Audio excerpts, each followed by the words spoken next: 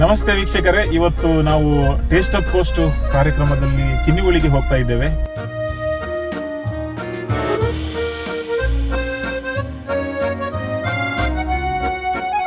Joel Pinto ಇಲ್ಲಿ ready ಇದ್ದಾರೆ ಅವರ ಫ್ಯಾಮಿಲಿ ಮೆಂಬರ್ಸ್ ಎಲ್ಲ ನಮ್ಮನ್ನ ವೆಲ್ಕಮ್ ಮಾಡಲಿಕ್ಕೆ. ಜೋಯಲ್ ವೆಲ್ಕಮ್ ಸರ್ ಮಣ್ಣಿನ ಮಡಕೆಯಲ್ಲಿ ಯಾವುದೇ ಪದಾರ್ಥ ಇರಲಿ ಮಾಡಿದ್ದು ತುಂಬ ಟೇಸ್ಟಿ ಅಂತ ನಾನು ಕೇಳಿದ್ದೇನೆ ತಿಂದಿದ್ದೇನೆ ಕೂಡ.